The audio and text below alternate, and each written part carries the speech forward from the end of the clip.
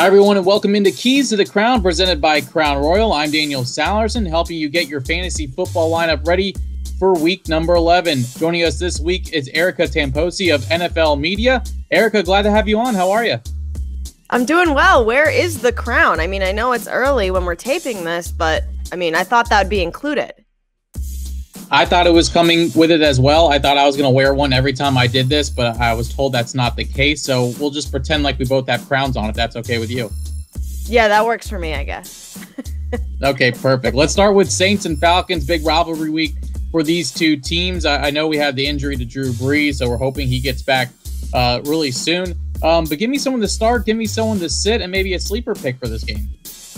Well, maybe you have more information than I do, but with Drew Brees and this injury, we're not really sure how long he's going to be out, right? So Jameis Winston is only rostered in 1% of leagues. So, you know, we've all seen what Jameis can do, and I totally am on board with picking up Jameis Winston. No doubt about that. I'm glad you mentioned Jameis Winston as someone to pick up. Um, while we are on the subject, give me some other waiver wire pickups that could attract you for this, this week.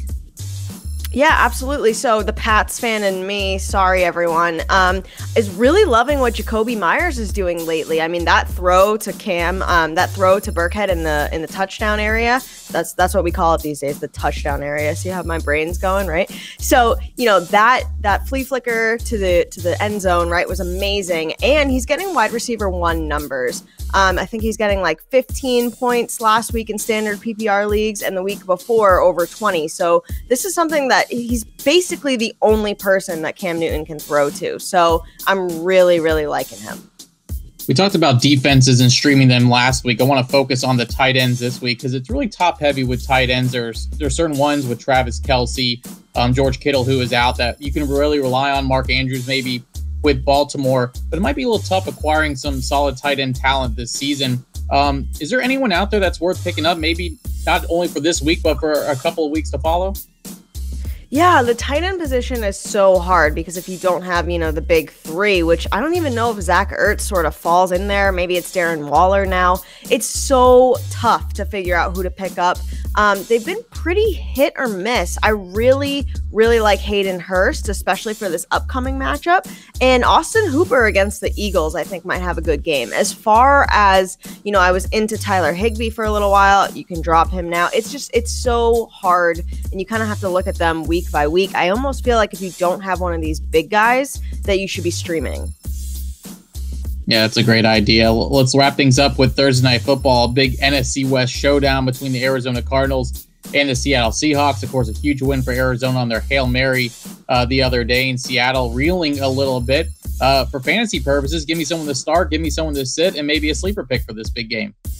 Oh man, how exciting is this game gonna be? Especially coming off of the Hail Murray that just happened. I mean, this is amazing. Um, I've been burned way too many times by Kenyan Drake.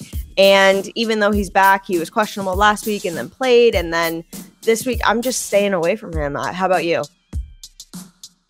Yeah, it's a tough one. I have Chase Edmonds in uh, some of my leagues, so I've been relying on him. But it's, it's been so hard trying to figure out the the Cardinals running back position that it is probably easiest just to stay away. But I see what you did there with Hail Murray. I think I'm gonna have to steal that one because that's certainly a great way to describe what happened last week in Arizona.